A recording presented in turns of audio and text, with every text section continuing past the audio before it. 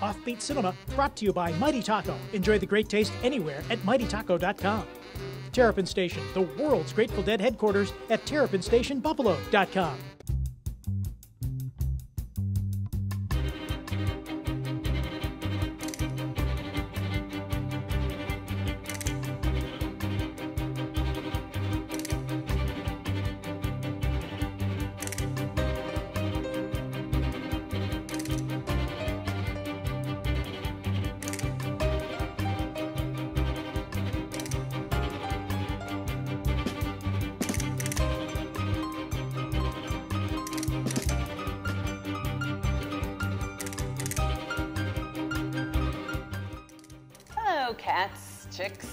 deep thinkers everywhere. Welcome to Offbeat Cinema. You've arrived at the mad pad that we call the Hungry Ear. My name is Zelda, and as usual, I'm here with my two cohorts in our weekly cinematic deep dive, Theo and Bird. So, hey guys, how are you today? Well, I'm as cool as, as cool can be, Zelda, because tonight we have truly a really cool film for you. This is kind of a classic, featuring one of our favorite offbeat icons, the great John Agar. It's the brain from planet Arous. Yeah, yeah, yeah, because, you know, like, the movie has inspired me to explore an entirely new dimension, you know, the dimension of the mind. Yeah, you know, I'm discovering that the power of the mind is truly limitless. And, yeah, like, did you know that I've only been using half of my brain? Really? I had no idea. Ha- half your brain. So, so you're saying that on the left side nothing is right, and on the left, on the right side nothing is nothing's left. Yeah, yeah. Uh, well, um, you know, in fact, I'm already deep in thought. For instance, you know, you wouldn't know it at first, but uh, you know, this coffee mug, it, it's it's really smart. And uh, okay, I've, I've got to know. Um, why do you say that, Bird? Because it's got a handle on everything. Ah, okay. Anyway, boys, well, let's get back to tonight's offbeat epic, The Brain from Planet Arous. This was released in 1957 and stars the great John Agar. And of course, uh, John was in lots of films and TV shows over many years, but he did get his start working with the, the truly brilliant film director, John Ford, um, in the Ford I, Apache. I, I thought Ford only made cars and trucks. Yeah, well, uh, Zelda, you want, you want to help me out? Okay, I'll try. Tonight's movie is all about Gor, an evil giant floating brain that, of course, wants to conquer the world.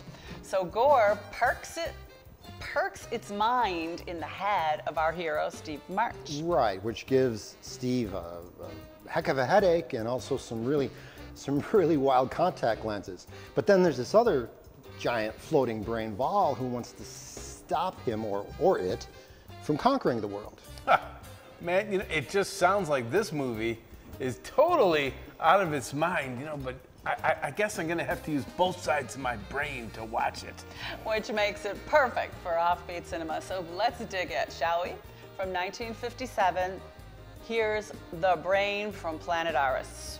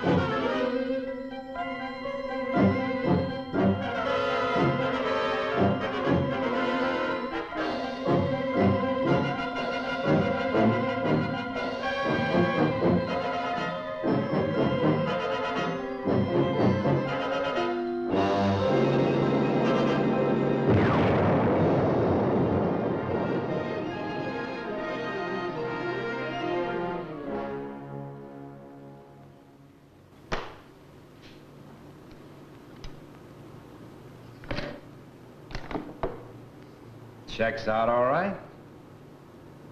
I don't understand it. Hey, Dan, it doesn't make any sense. Mm-hmm. I said it doesn't make any sense. The Geiger counter's been going on and off all morning, and the nucleometer checks right along with it. You talk like a man with rocks in your head. Radioactivity's a constant thing. Either it's there or... Oh, yeah?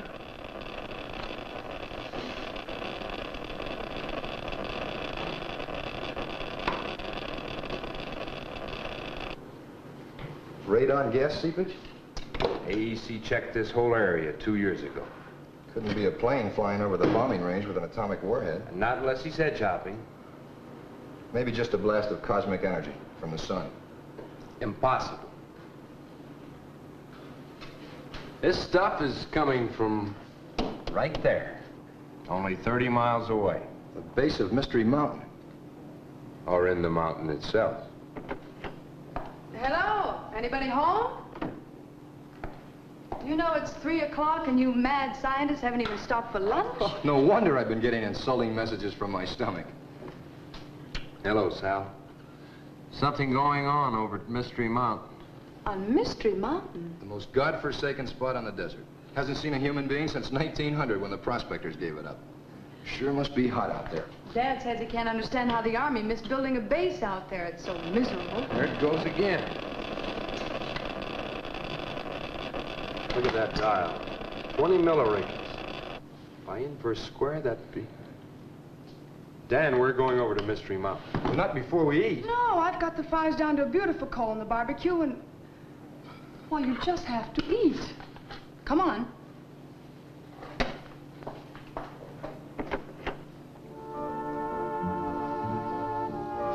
Oh, boy. I can hardly wait. Hey, Steve. If we're gonna take a trip to Mystery Mountain, can't we get Jim to take us over with a scintillator? That's the easy way. Nope, we're going in a Jeep. I don't want to scare away who's ever out there with a plane. Ah, for now, fly out into the patio or I'll never get this lunch together. What do you expect to find out there, Steve? A crank using an old mine for experiments? You got me. Spooks. Gotta be spooks. Hey, what are you doing, incinerating them? I like mine pretty raw. Better feed him before he becomes violent. Go sit down, both of you. Hi, Mr. Fallon. Yeah, Dan, Steve. Hey, uh, if you like your hamburgers cremated, you're just in time. Oh, thank you, Dan. Well, I didn't know we were having a party. Yeah, a little going-away party for Steve and me. Making a trip, Steve? Just over to Mystery Mountain. What in the world would take you out there at this time of the year? It must be at least 120 in the desert. That's what I've been telling them. There's something going on over there. Open the door for me, will you please, Dan? Well, you can't just leave me there, Steve. Go on. There's a hot blast of gamma coming from Mystery Mountain.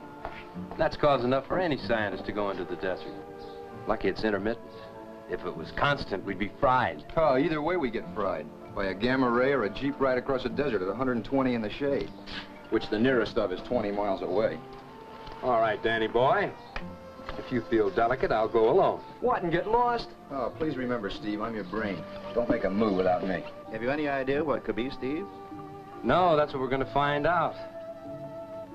Give me some onions, will you, Sally? The way Dan's piling them on, I'm gonna have to eat some in self-defense. How long do you expect to be gone? Three or four days, if the spooks don't get us. Don't you think you ought to notify the AEC, Steve? No, not till we find out first. Hmm, curiosity. I know, kills cats. We've got 18 lives between us. And no more hamburgers.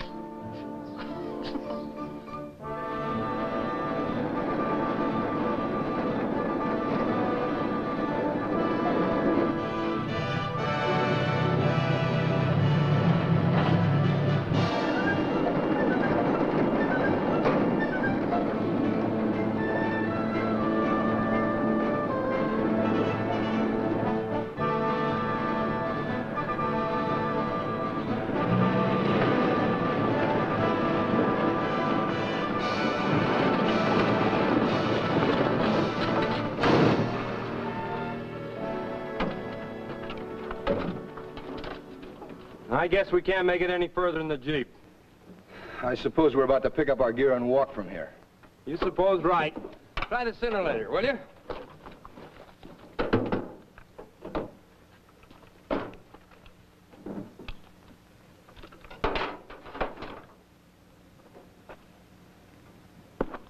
Couldn't be deader. Recorded this morning, you saw it.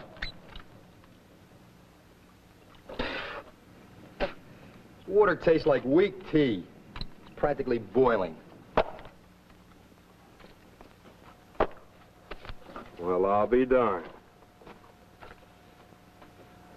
Take a look at this. A little more than halfway down and to the left. What do you see? Pile of rocks. Wasn't there last winter. Come on, Dan. It's not far. Daylight's about to run out on us.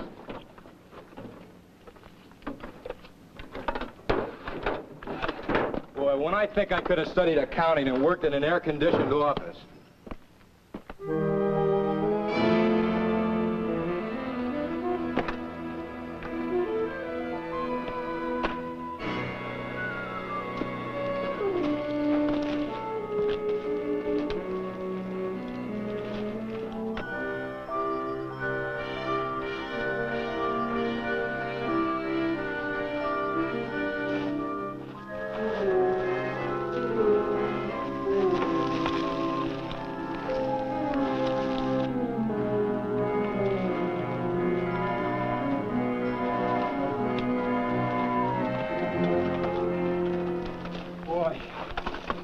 I'd have bet eight to five against it. We made it. Over here. Dan, look at this cave. Just been blasted out recently. That explains that pile of rocks. Take a look at those markings. Yeah. Somebody's gone to a lot of trouble. They had to have a good reason. No. Nobody's been in there. There are no footprints anywhere. Let's take a look inside. It's probably full of beer cans.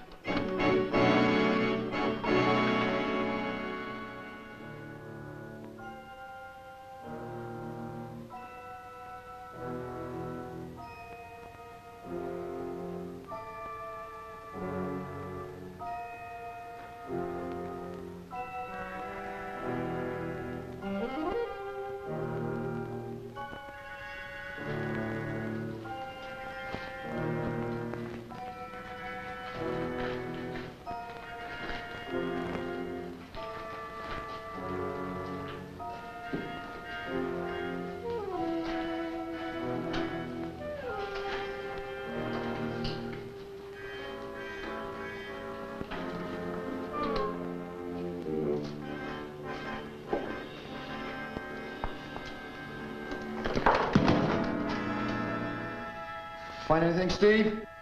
Dead end.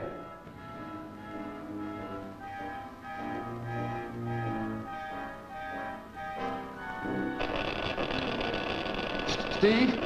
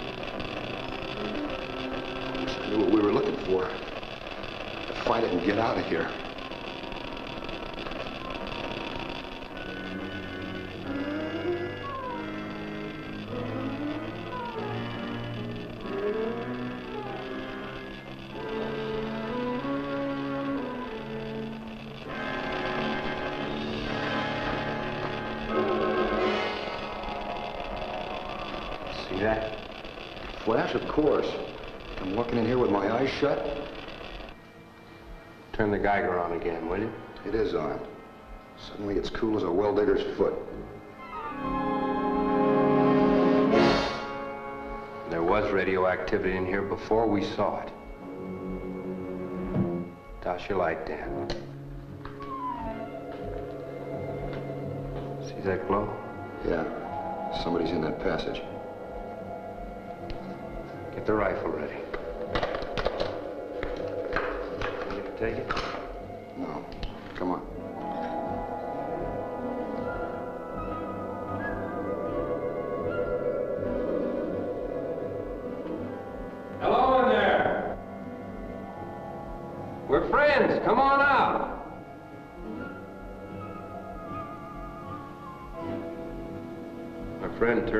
flashlight. Antisocial.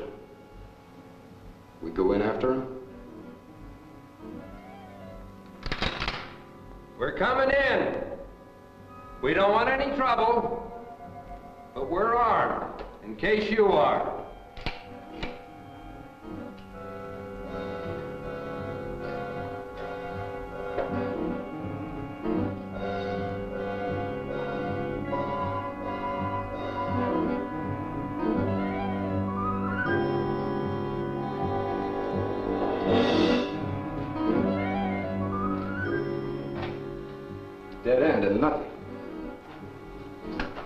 You saw that light. You can't beat facts, Steve. We've covered every inch of this passage and there's no one here.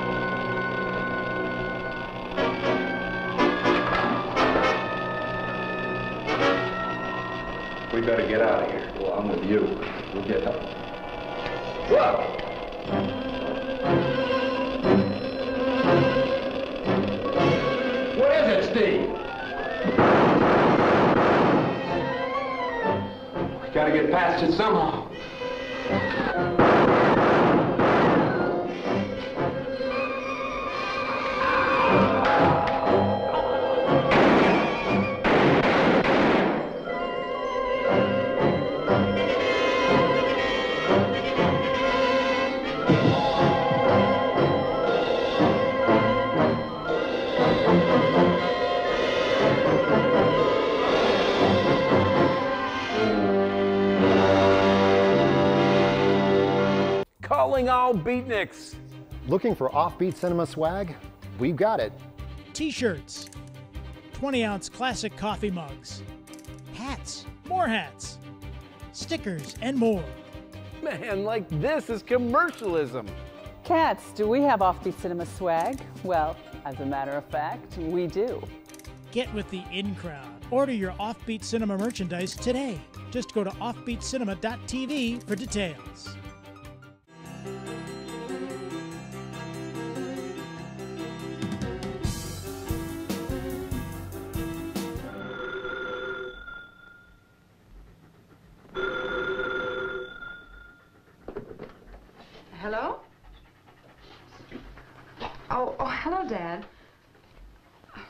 Haven't heard from Steve or Dan for a whole week. You know them. They get real carried away if they find anything unusual. Yeah, huh? Jim called, and if it's all right with you, we're going up to Mystery Mountain this afternoon. Mm-hmm. Surprise them. All right, Dad. I'll see you about one. I'll have lunch ready for you. Okay. Bye-bye. Steve. Prodigal returns. Glad to see me? Am I? Mm. you two have been up at Mystery Mountain a whole week. You know what we found? Absolutely nothing.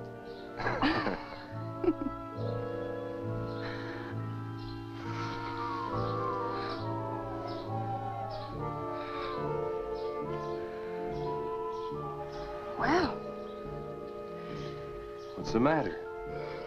you never kissed me like that before. Wow. I never missed you so much before. You should stay away more often. Where's Dan? Oh, you know Dan. Playboy at heart. One week in the mountains, and he has to go to Las Vegas to recuperate. What's the matter, Steve? Nothing's the matter. But well, you're different. I don't know what you mean, different. I'm still the same old lovable character I always was.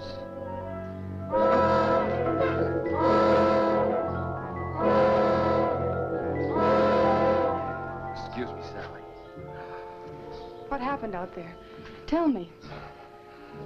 Nothing, Sally.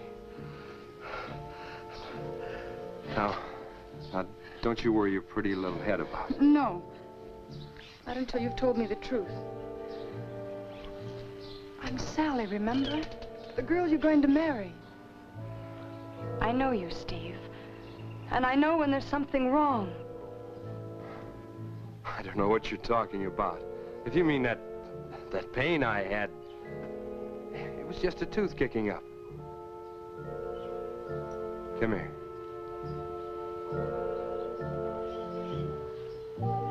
You're a spook, you know it? Getting all fired up just because I don't explain a toothache. You acted funny. And that way you kissed me.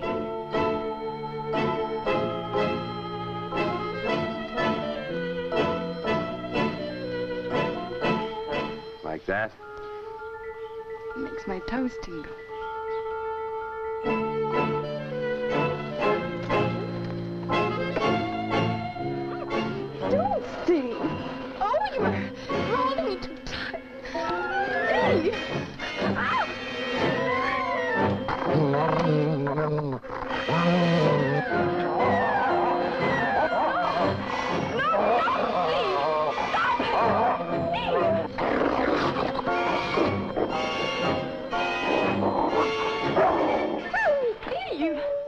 I'm sorry. you've been working too hard. You've got to see a doctor. Don't expert me, Sally. I'm all right.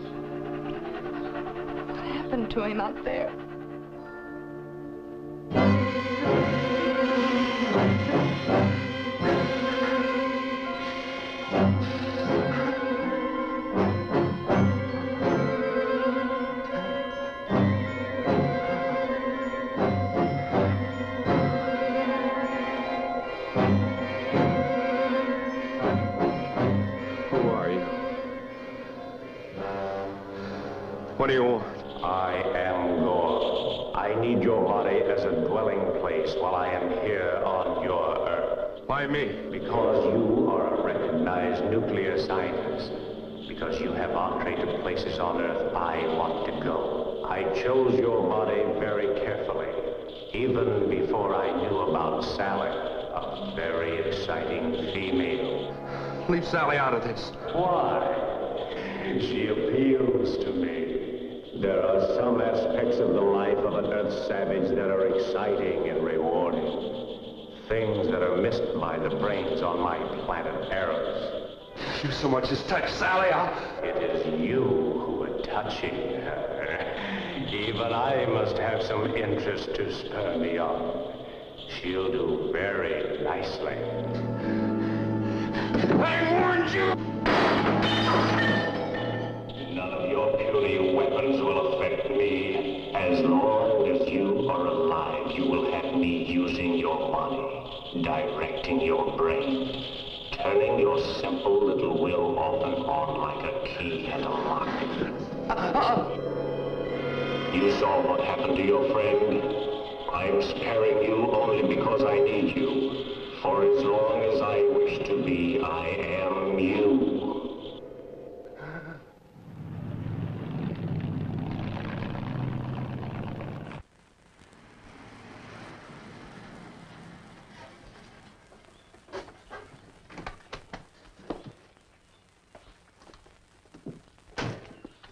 Hi, Sally.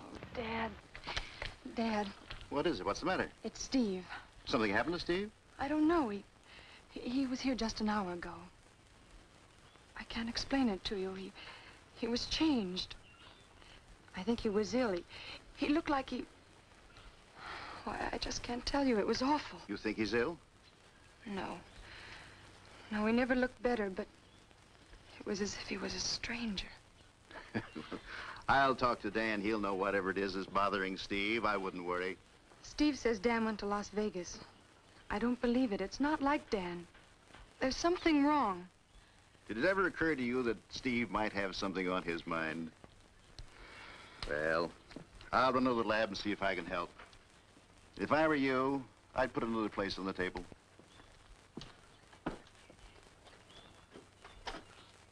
Don't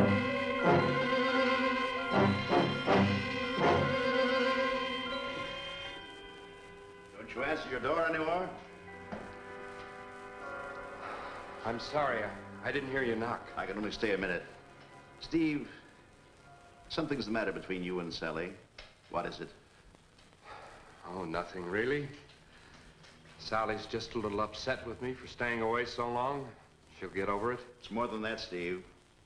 I know Sally pretty well, but this time, she's worried about you. Why didn't you come back to the house with me and have lunch with us? Well, I'd like to. I'd like to come over and talk to you about...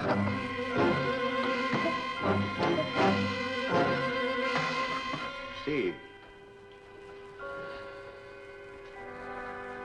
I can't come over now. Will you please leave? Of course. That's what you want? That's what I want. Steve, I think you're ill. May I call Dr. Parker for you? No.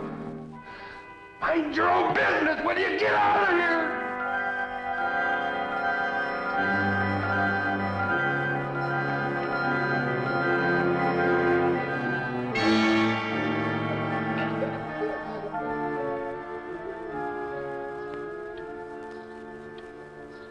Aren't you worried at all about Steve, Dad? Of course I am, Sally, but Steve's a grown man. He has his problems. We all have. That I'm in love with him. We're going to be married. Well, don't you think we should do something if he's sick?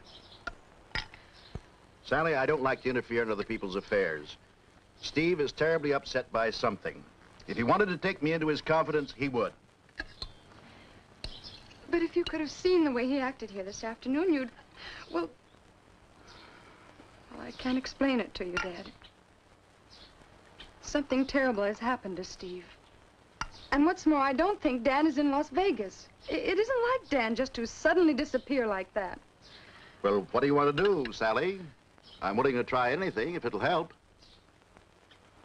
Well, whatever happened to Steve happened on Mystery Mountain.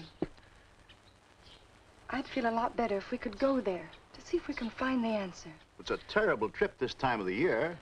I know. Just the same, I'd like to make it. Tomorrow. Well, I've spoiled you too long to try to stop now. We'll leave tomorrow morning. You get the food and water, and I'll get the other gear. Thanks, Dad. I don't know what we'll find out there. But at least we'll be trying.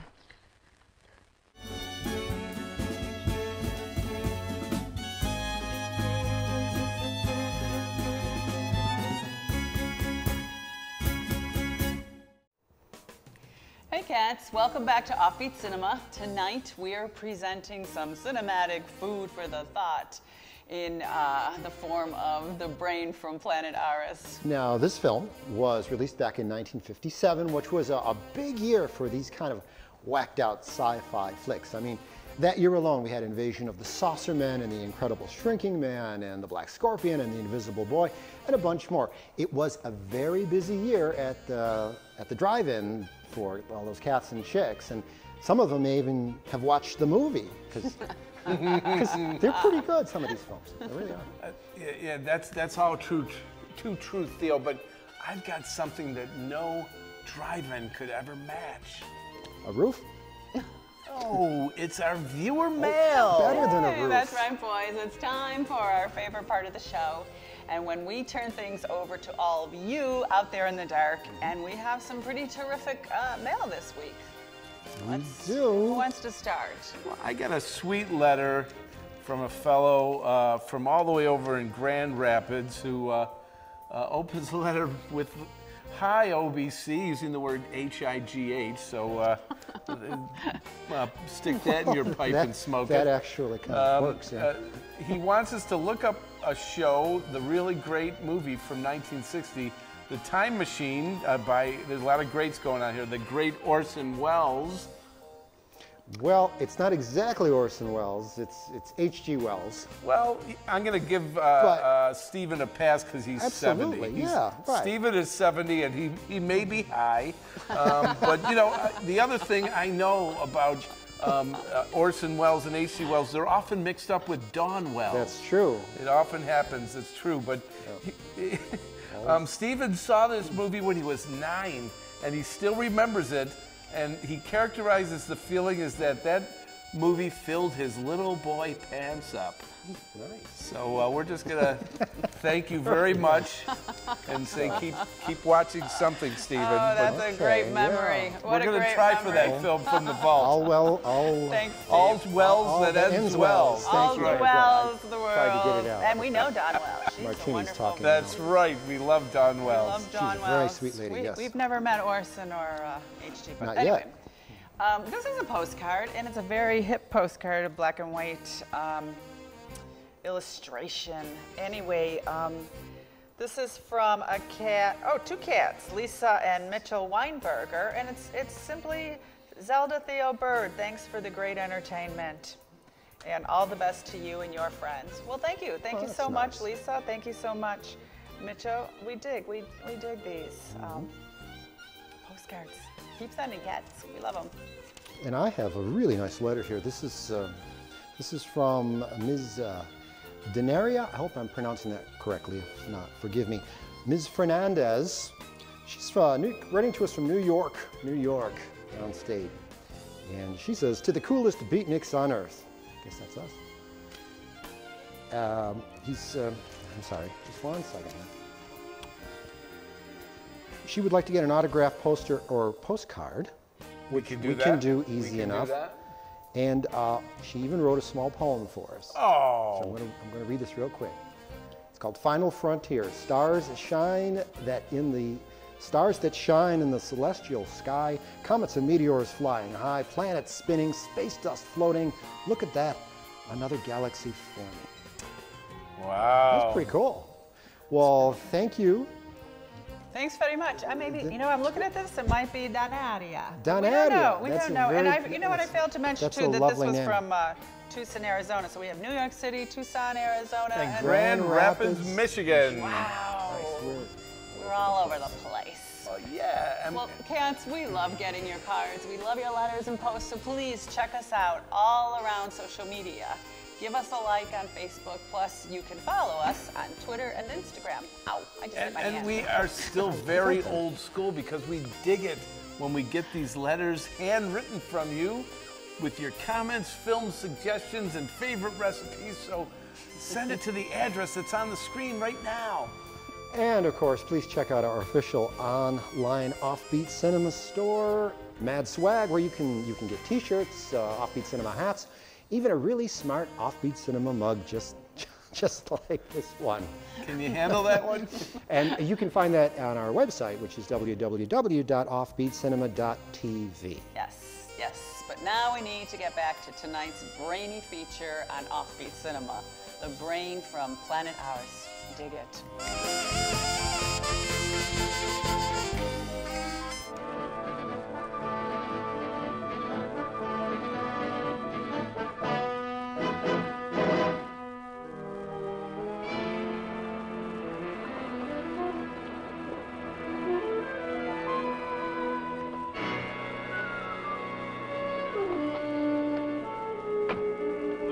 Like the end of the line to the car anyway.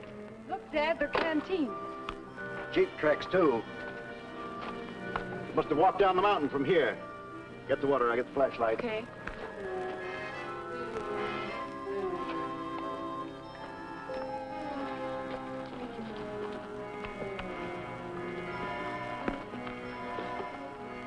Careful, honey.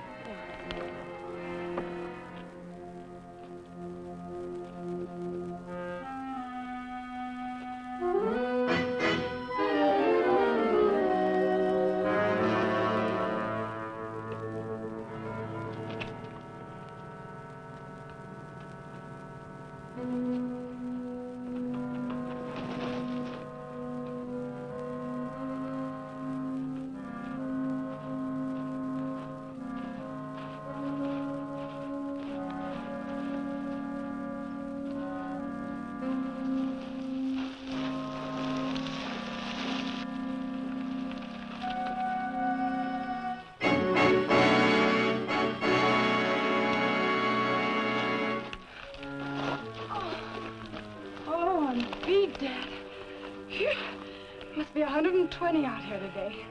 This is no place to rest. At least there's shade in that cave over there. A cave? I've been out here with Steve before, and I know that cave wasn't here. Come on, it's just a step. This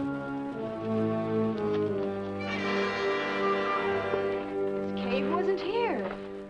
All right, Sally, I believe you. But I don't see how all this rock could have been blasted from the mountain without us knowing about it.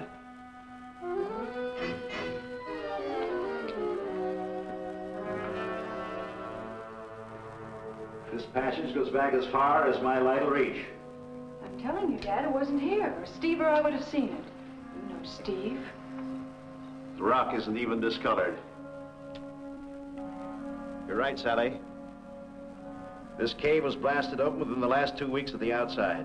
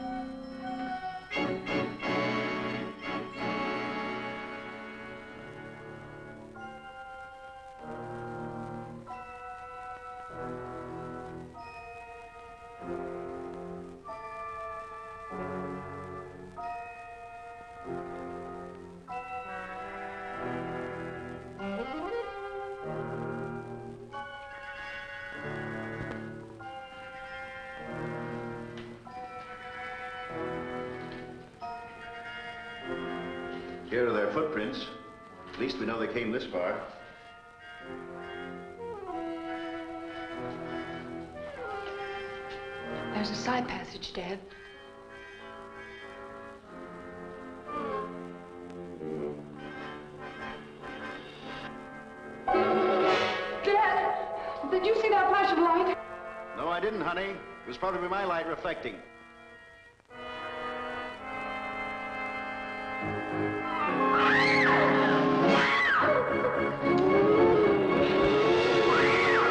It's me. We better get out of here. Oh, no. Was something in there happened to change Steve. And I'm going to find out what it was.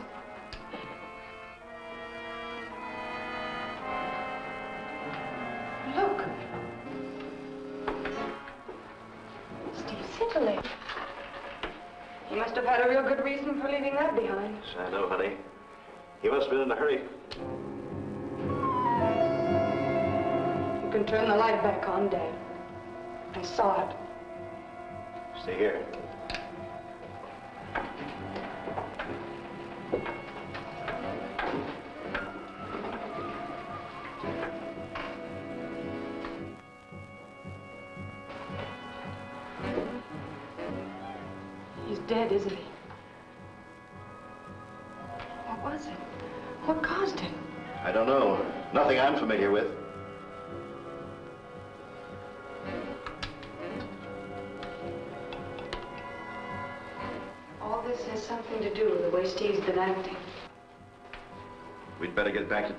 Report this to the sheriff.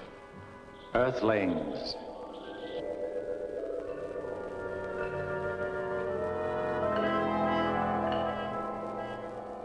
Who? What are you? Do not be afraid. I am a friend. I am not of your earth. My name is Vol. I am from the planet Arous. I was sent here by my leader to capture the criminal Gor who escaped from Arous to your planet Earth. He has already avoided that human in the passage. He is cunning and dangerous. I need your help. What can we do? Do you know the dead one's companion? Yes, he's a very good friend. He has been behaving strangely. Yes, he has. His body has been taken over by this criminal I seek. If you have regard for your friend, not a word of this meeting to anyone. Tomorrow night at 8 o'clock, I will appear at your home. We will make our plans then.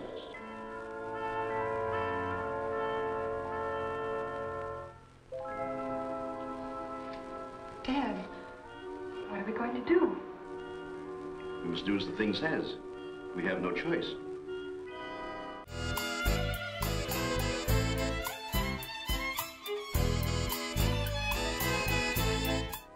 Yes, this is Steve March. I'd like to speak to Colonel Frogley, Atomic Energy Headquarters, Indian Springs. Could you put me through, please? Hello, Colonel. Steve March. Yeah, you're right. I'm calling in connection with those tests you planned this week. Oh, just small ones, eh? Well, I'd still like to be there as an observer. Friday? All right. I certainly appreciate this, Colonel. I'll be there. Goodbye, sir.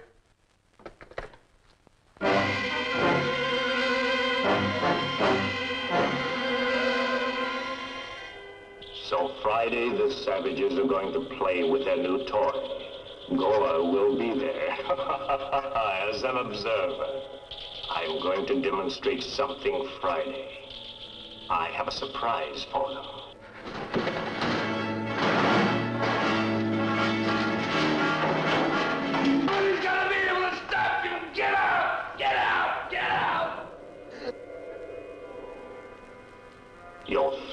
Helplessness is your best friend, Savage.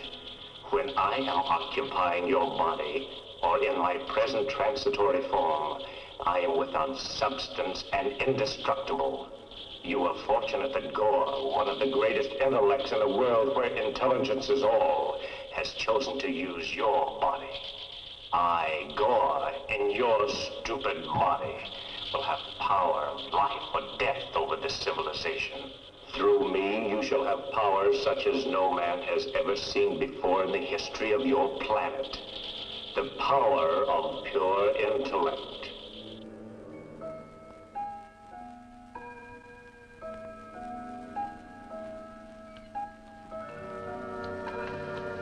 Dad.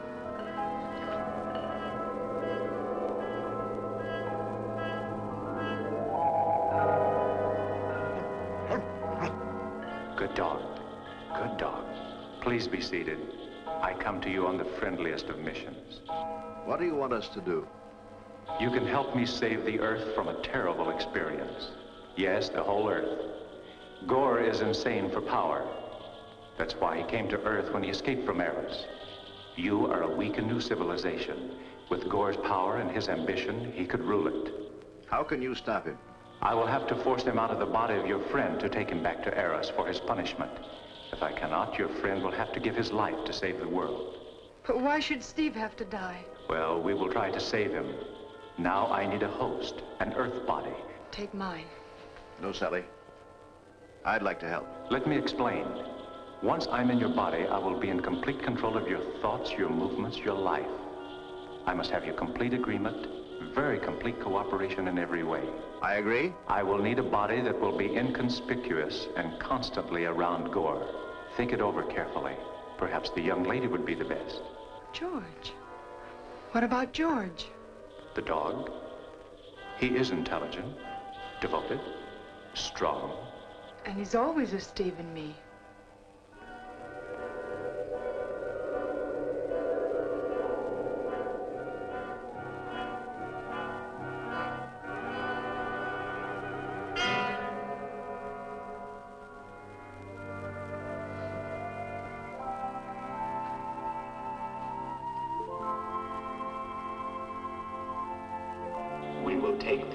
Female for a ride in your car. I will enjoy being you tonight. She gives me a very strange, very new elation.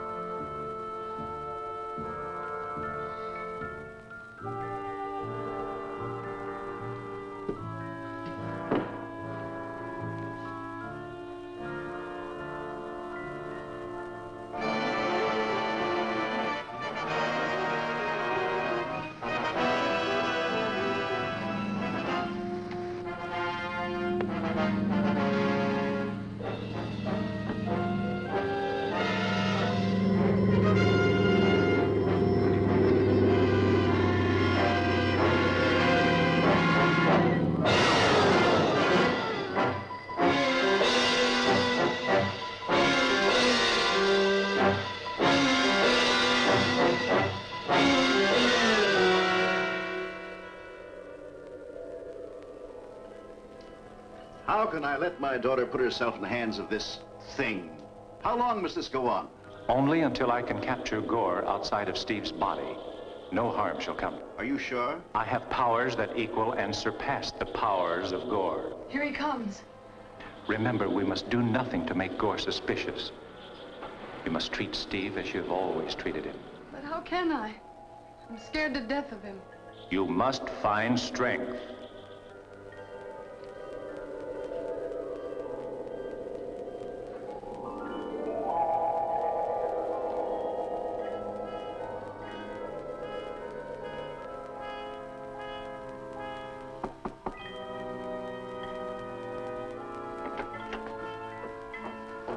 John. Hi, Sally. Hi. Better get a sweater on. I got the top down. All right. Hello, George. Come on, boy, put your feet up. Come on, come on, fella. How are you, old mutt? So Dan decided to visit the flesh pots. Uh, yeah. John, about, uh, about that scene the other day. I'm, uh, I'm sorry. It's forgotten. We all have our bad days. I, uh, I guarantee it'll never happen again. If you can forgive me, I, I was mad at Dan. He ran out on me in the midst of a very important experiment. I don't know, things just piled up. Forget it, Steve. Forget it. It never happened. I am glad to see you in your usual good humor. All set, Master? Let's go. Well, you want to go, Georgie? All right, you can go. If you promise not to drive.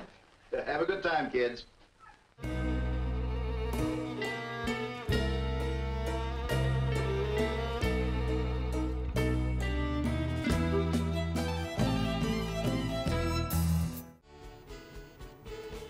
I'm, I'm, I'm really digging this flick, but that, that Gor, you know, he calls himself uh, one of the greatest intellects from the world where intelligence is all. I mean, come on, talk about having a big head. Well, technically, it is pretty big in this film, Bird. Well, you know, speaking of big heads, I've been studying all about the power of the mind. Like, check out this LP, The Basic Principles of Kreskin's ESP. I mean, like, listening to this cat has really broadened my mind. Now, now, Bird, you, you, you do know what ESP stands for, right? Yeah, of course, extrasensory prevention. Uh, actually, it's perception. Yeah, but you know, I think in Bird's case that that, that might work better. Well, I, I think this Kreskin cat is amazing. Well, Bert, the amazing Kreskin is a legend, and he's been entertaining audiences for decades with his mental skills. Mental skills, huh? Well, you know, if you ask me, I think it's all in his head.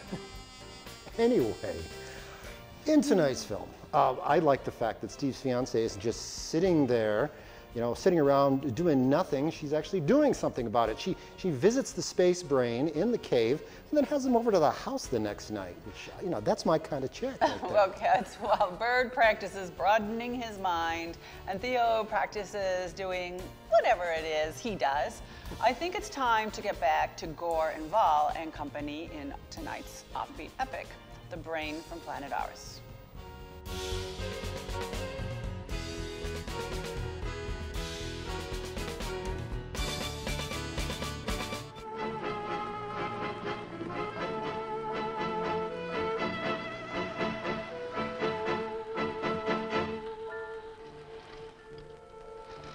That's our world out there, Sally. Yours and mine. Really? All of it? If you want it. You've been out in the sun a lot today with no hat on? I can give it to you. Believe me.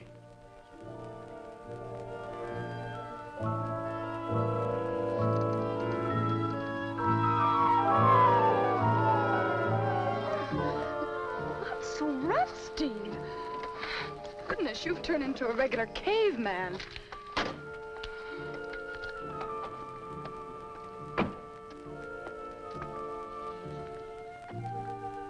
You see a difference in me, eh? I am different, Sally. And the whole world's going to know how different by next Friday. I'm going to the atomic bomb test in Indian Springs. I'm going to watch the test with Colonel Frogley and Professor Tate. And then I'm going to introduce my discovery. It'll make the atomic bomb look like a firecracker. You frighten me when you talk like that. It's true. I've discovered a power that's going to make me the most feared man on earth. Is that what you want? Power? That's what everyone wants. That's why the office boy wants to be the boss. That's why the private wants to be the general. Power? and I've got it. I wish you'd tell me what you're talking about, Steve. It doesn't make any sense. I can't. Don't, Steve. Steve! You think you can get away from me? You can't. Don't. I want you, Sally. And what I want, I take. No!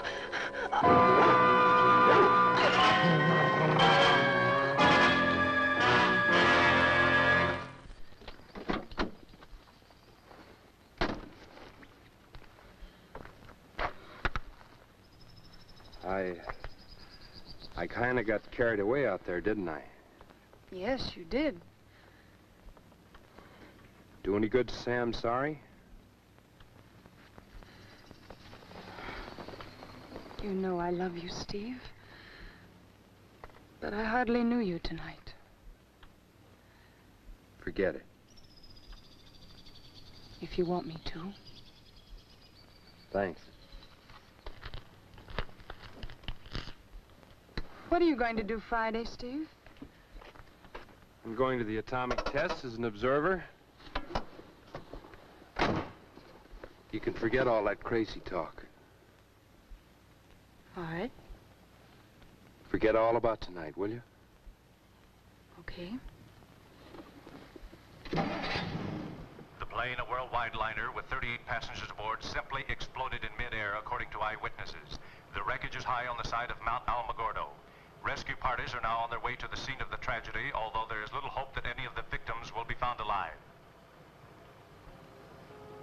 Mount Alamogordo. It's only 20 miles away. We might be able to help.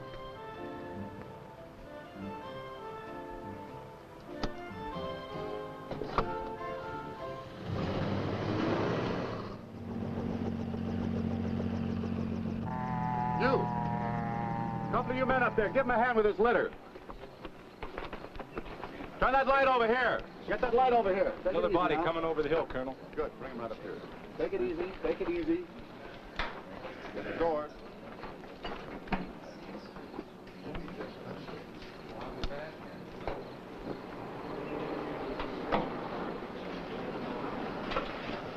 Turn that light back on, down here. Colonel Houck, anything we can do? Still some bodies missing. Well, we were driving a few miles away, heard the broadcast. Hold it right there, fellas. This is not for you, miss.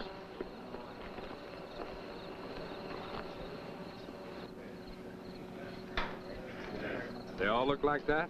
Did you ever see anything else that flash burns so violently? All right, man. I want to show you something else. Brought Professor Tate from Indian Springs over with me. He's been testing the only piece of metal we could find so far. Plane exploded over 100 acres. Oh, hi, Steve. Hello, Dale. Radiation? Well, it seems almost certain, yet there's no contamination. I've never seen anything like this before. Now, what we're telling you is in strict confidence, Steve. We don't want to start a panic. Better take this piece and get it over to Indian Springs lab. Steve, see you later. Bye, Dale. I couldn't help hearing what he said, Steve. It was terrible. Could be the beginning of the end. What do you mean? You heard what he said. That accident was caused by something we've never seen before. What did cause it? The professor's right. It was caused by a power from outside of this world. Do you really believe that, Steve? There's nothing else to believe.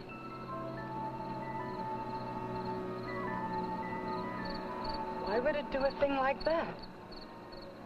To demonstrate its power over the earth. Oh, I'm sorry. I, I didn't mean to frighten you with my theories, hon. If your theories were true, we'd be at the mercy of this thing. Yes. Such a creature could rule the whole world.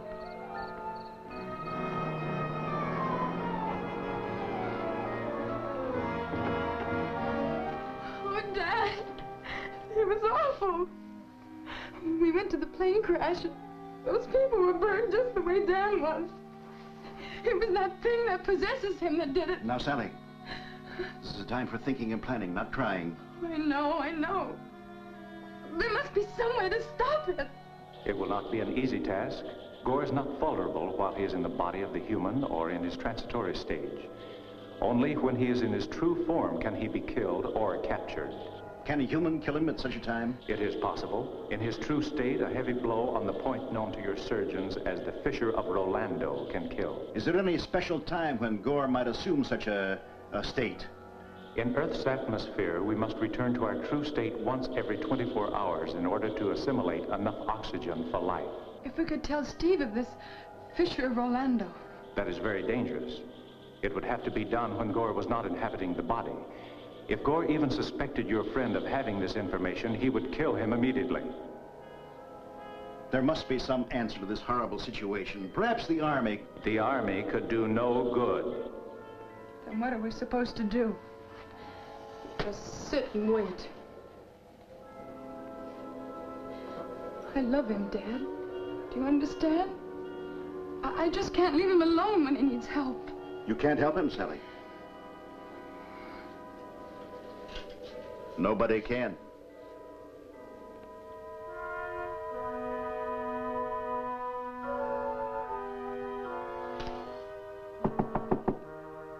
Come in. Hello, Steve. Hello, Wiley. What's the law doing out in a night like this? Drove over to talk to you. Oh, sit down. I'll pour you a cup of coffee. All right. What have I done? Oh, record nothing, Steve. Just got some questions I want to ask you. Oh, about the plane accident? I was there. No, it's about Danny Murphy. Dan? Is he in trouble? Well, it depends on the way you look at it. He's dead. Dead? What happened? I was hoping you could tell me, Steve. Found his body in a cave on Mystery Mountain. You went out there with him, didn't you? Yeah. I came back with him. He said he was going to Las Vegas. Yeah. So I understand. He did an autopsy on Dan's body, Steve. He never made it to Las Vegas. Oh, he said he was going. Yeah. Autopsy showed he'd been dead since the day you two went out there. Doc put the cause of death as burns. Said his body was cindered. Just like the bodies in that plane wreck. I don't reckon you know too much about that. But there's more to this business in the cave than you've told me. Planning on arresting me, Sheriff? Well, I might. On what grounds? You lied about Dan. Said he was in Las Vegas when all the time you knew he was dead. That's grounds enough. You and he are also mighty fond of that Fallon girl. You're in a little trouble, Steve. Oh, no, I'm not. You're the one that's in trouble. Yeah, I killed Dan. I killed those people in that plane, too. And now I'm gonna kill you. I'm taking you in, Steve. Oh, no, you're not.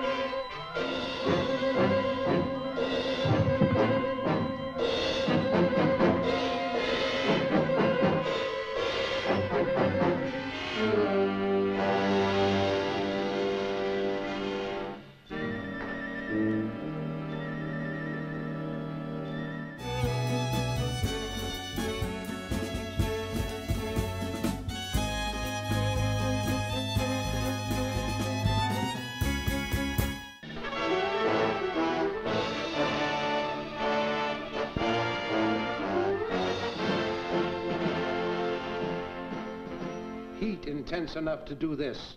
Must have been caused by some sort of an A blast. But there's uh, no radioactivity.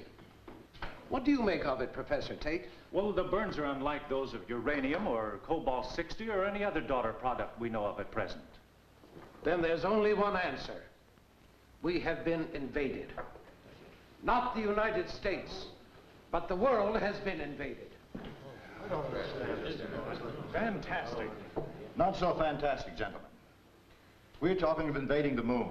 Our job is to find out who the invaders are and try to work with them. We're certainly helpless against them.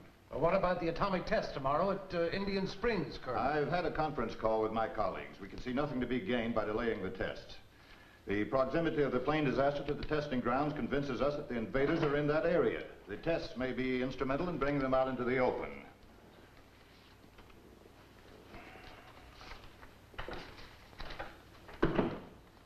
Physician's report from Indian Springs. The condition of the bodies recovered from the plane crash is identical with that of the nuclear scientist Dan Murphy, killed at Mystery Mountain.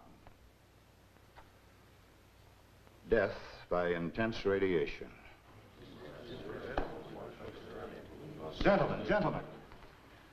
The knowledge we have must be treated as top secret. We want no panic. Only key personnel in your units will be briefed on our suspicions. We should move at once to Indian Springs and prepare for any emergency.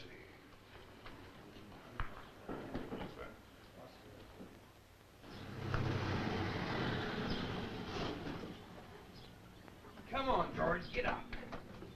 Come on, boys. Hey, you got company.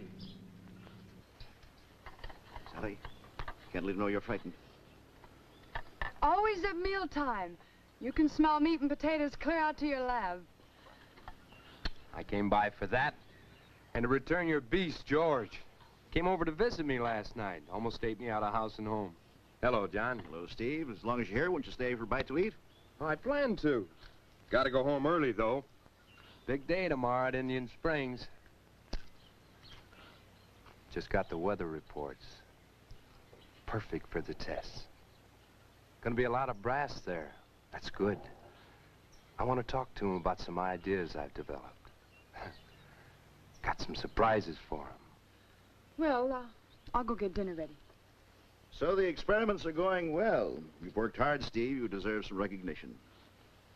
I'll get it tomorrow. You giving out any hints, or do I have to wait with the rest of the world? Oh, no hints, John. Well, maybe uh, one hint. I'll tell you this much. I'm going to give a demonstration tomorrow that'll create as much excitement as the bombing of Hiroshima. Not much left for George. Come on, boy, sit up. Now, that was a good dinner, Sally. Don't sound so surprised. Well, I'm going to the den and get to work before the dishwashing starts. Every silver lining has a dark cloud. Guess I'm stuck. That's what I want for my birthday, a dishwasher. Well, I'll see you after the dishes are washed.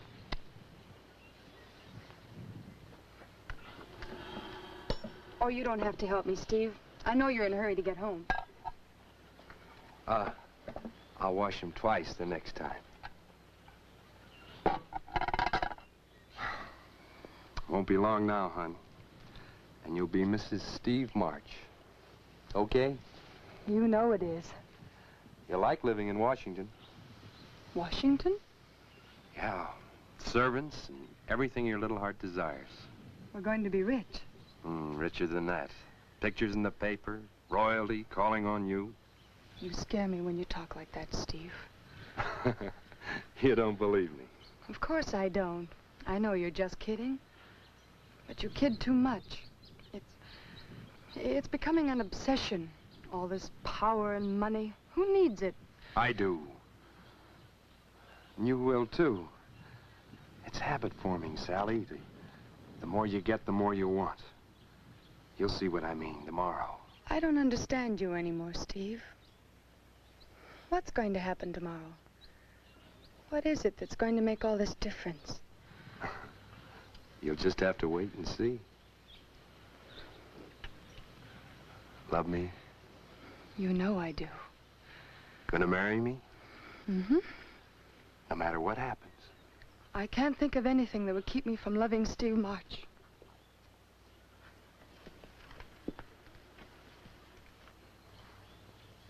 You're more important to me than anything, Sally. You know that.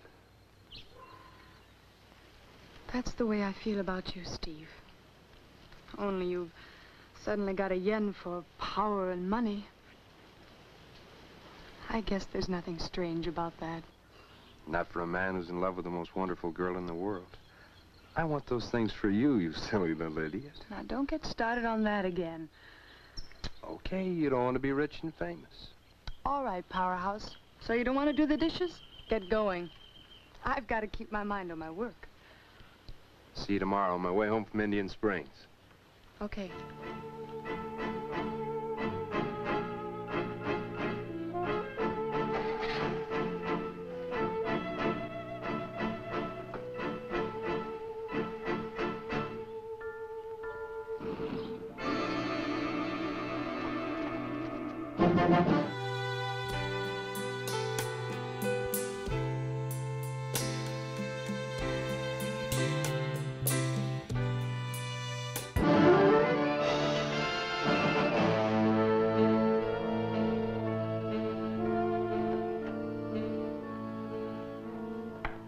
Steve, glad you got here. Hello, Colonel. I understand you have a lot of brass out here for the test today. We have. We also have a very serious situation, Steve. There's a top drawer meeting scheduled.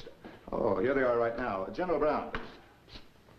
I'm sure you've heard of Dr. Steve March. He's been conducting experiments in nuclear fission on a grant here in the desert. Steve, General Brown. How do you do? I'm afraid, March, that this meeting is top secret. I uh, understand, General. The Colonel was just telling me. However, before the meeting starts, I'd like to have a few words with you, gentlemen. I promise you I won't waste your time. Well, I'm afraid the business we have at the moment is more important, March. Come along, Colonel. I'm sure it isn't, General. This meeting is about the mysterious explosion of the passenger plane and the radiation burning of my assistant, Dan Murphy, isn't it? I can explain those deaths if you and the rest of the gentlemen will give me a few moments of your time. All right. Two minutes.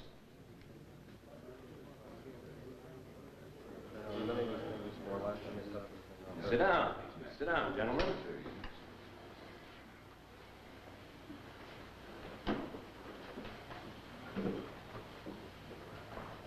Gentlemen, before I can ask you to take what I have to say seriously, I want to show you something. This is the closed-circuit television set focused on the test area, isn't it? Yes. And uh, these buildings and equipment have been placed in the desert for destruction by the atom blasts? That's right.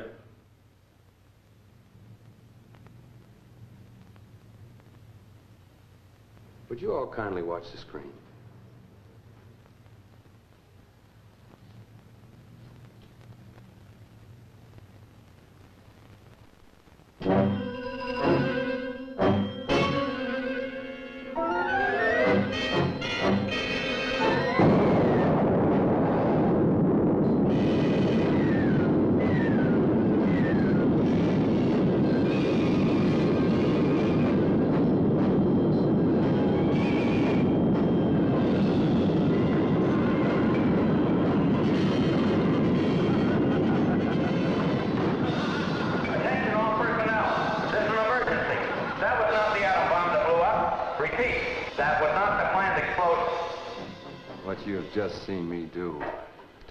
One small area, I can do to a city, a nation, or a continent.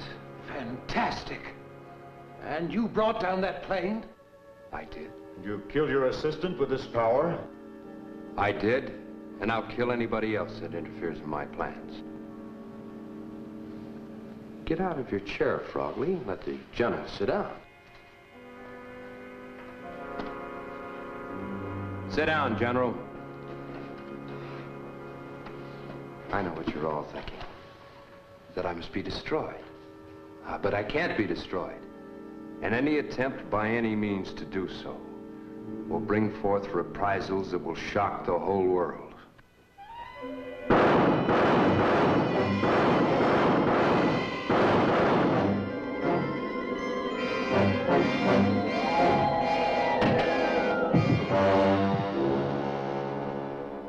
Hope that will be sufficient proof that I am to be dealt with in a sensible manner.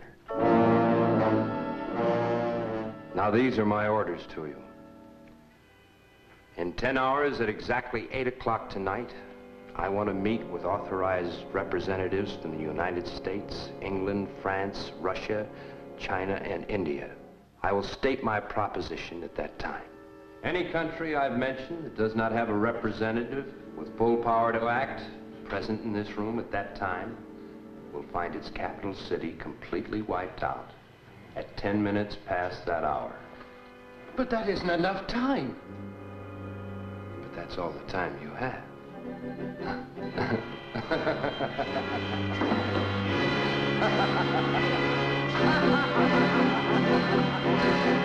General, what are we going to do? Why don't you get in touch with Washington? Hello, operator. Get me to the White House, will you? Yes, this is General Brown. Boy, am I beat. That meeting this morning knocked the stuffing out of me. But was it successful? Oh, I shook him up a little. But the meeting tonight's the main event. And you can't tell me anything about it. You'll read about it in the papers. When I'm rich and famous, Yeah. Like maybe tomorrow. so quick? You know me when I get going. I'm a fireball. You know, operator, it looks like you could use a nap. uh, before the evening's festivities. Will you wake me in time to dress? Sure. 6.30. That'll give you plenty of time. Oh, it's, uh, 5.10 now. You better get some sleep. He's asleep. He has to be at the meeting at 8. Gor is tired because he has had no opportunity to return to his true form for oxygen. He will be over the 24-hour period. Yes? He will be very vulnerable. You mean that spot near the top of the brain known as the, uh, the Fissure of Rolando? You have a good memory.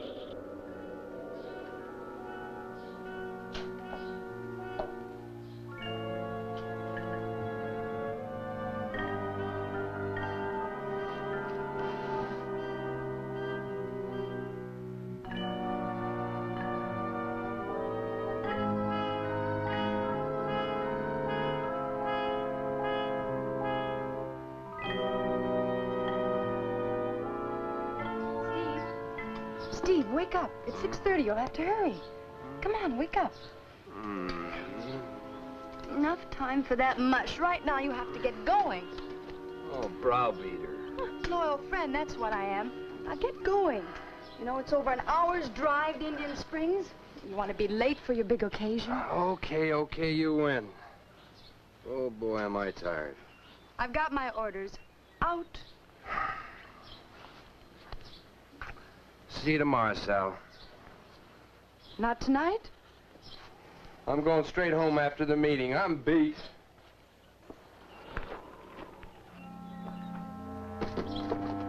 No, George, you can't go this time. Come on. Come on, George, get out.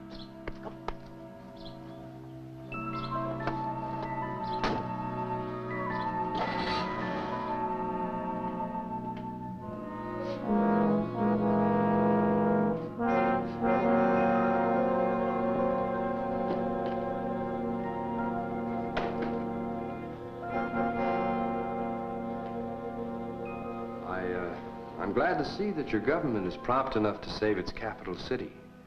Uh, Moscow, isn't it? My country, the Soviet, ordered me to come. We do not believe in miracles. I am here merely as an observer. Are there any doubters in the group? Is it possible that you want me to demonstrate my powers by wiping out your capital city? As one of the two delegates in this room that attended your demonstration this morning, I would like to assure the other delegates at this table that there is absolutely no doubt of your power to destroy. I saw it. I saw an American colonel killed, burned to a crisp by radiation with one look from this man after the officer had fired at him point blank with no effect. I saw him wipe out a city of concrete and steel and a hundred tanks, trucks, guns without leaving this room by some power of mind. Gentlemen, I am convinced, my government's convinced, And my advice to you and to your governments is to take what this, this man says as a most serious matter. Thank you, General. Oh, I see we still have some skepticism on some of our guests' faces.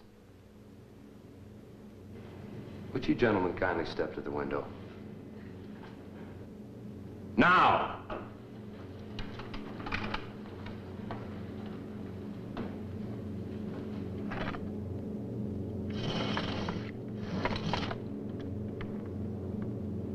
Can you see that plane in the sky?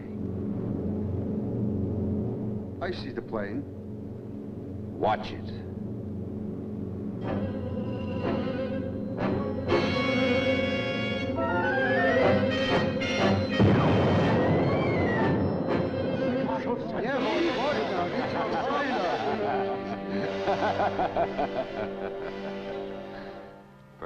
Can get back to the meeting without any more skepticism.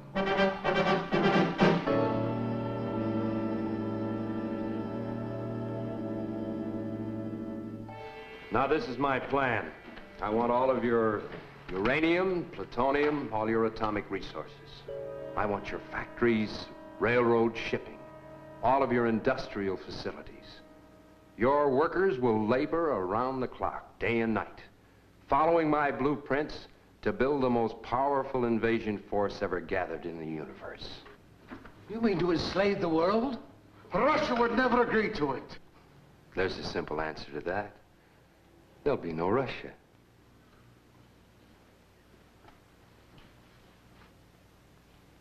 Your United Nations building will be turned over to me. I will teach your engineers to build a fleet of interplanetary rockets to be armed and manned by your joint military forces, all under my command. What would you do with all this power? I will return to my planet Arous, and through its vast intellect, I will become master of the universe. After I'm gone, your Earth will be free to live out its miserable span of existence as one of my satellites. And that's how it's going to be.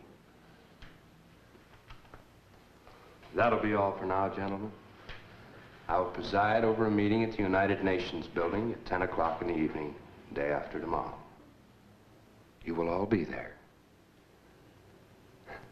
After all, you have no other choice, have you? Well,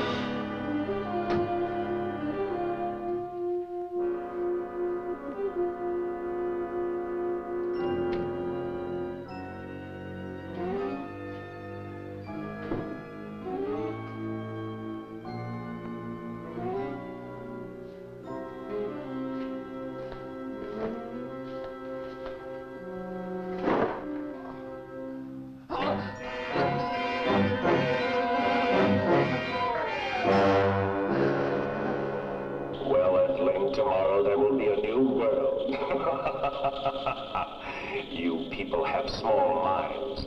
You are unable to grasp the importance of today's events. You are about to succeed where Caesar, Napoleon, and Hitler have failed. Through me, you will have ruled the world, but I will rule the universe.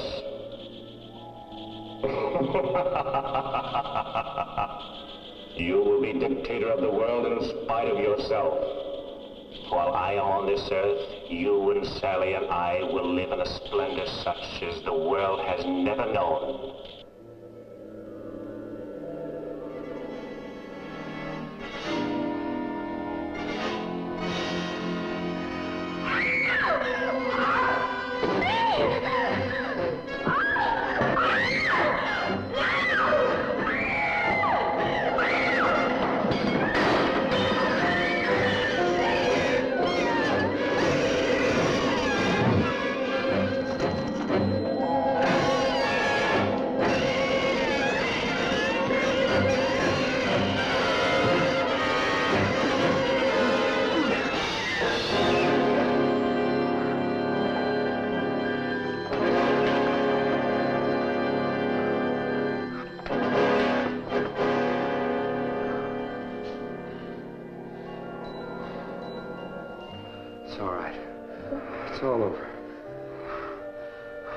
Heavens I found your note. How did you... How did you happen to know about the Fissure of Rolando? Vol. Vol? Oh, that's right. You don't know about him. He's another brain from planet Arous. He was watching over you and George's body. George, come here.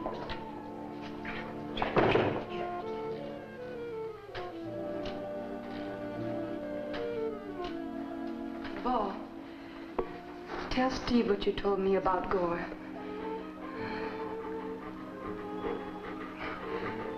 Vol? George, speak to me.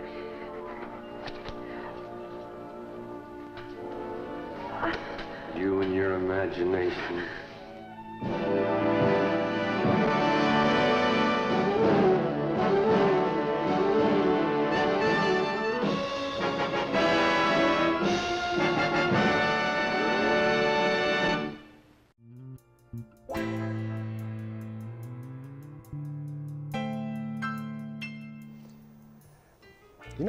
Bartender who was a mind reader.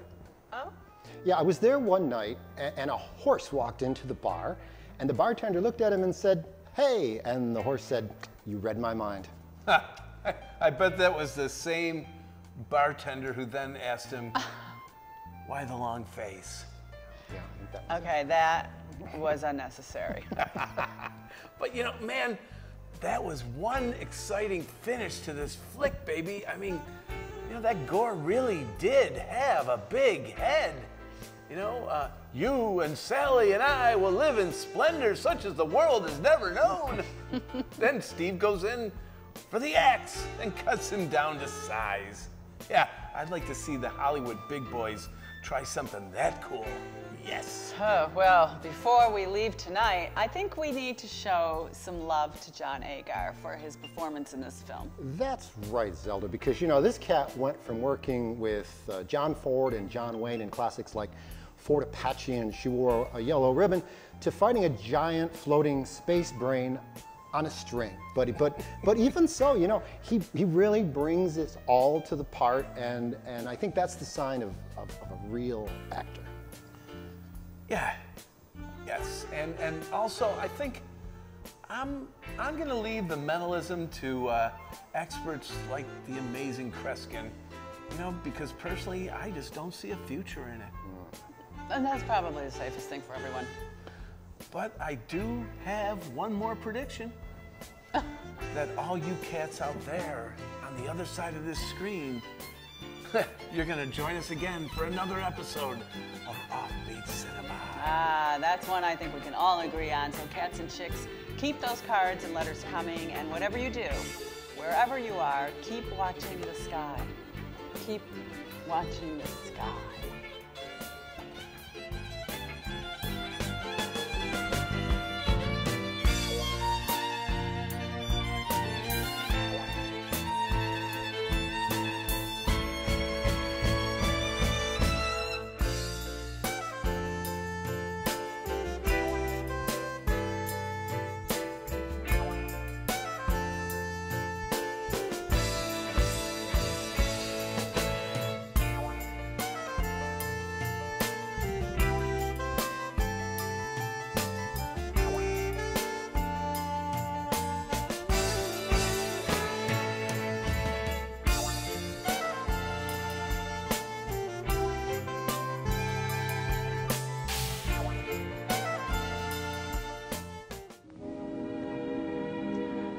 Now, folks, it's time to say goodnight. We sincerely appreciate your patronage and hope we've succeeded in bringing you an enjoyable evening of entertainment. Please drive home carefully and come back again soon. Good night.